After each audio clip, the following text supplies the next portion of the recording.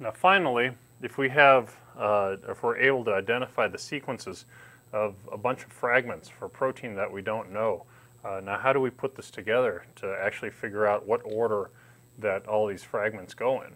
So what helps is a, a technique called protein mass fingerprinting.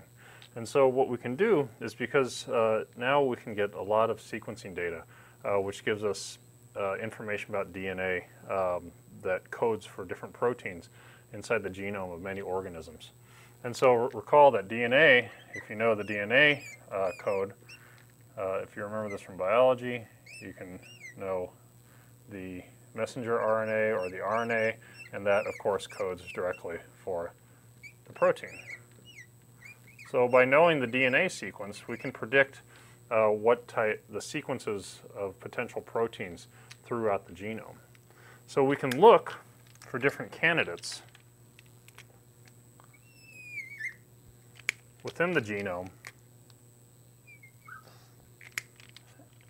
And we can do a hypothetical cleavage of each of these uh, with either, uh, for instance, trypsin or cyanogen bromine, uh, cyanogen bromide. And so what we look for then are places where the cleavage sites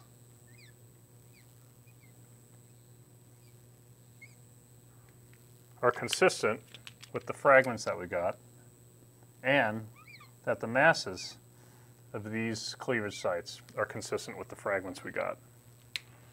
And so ones that match up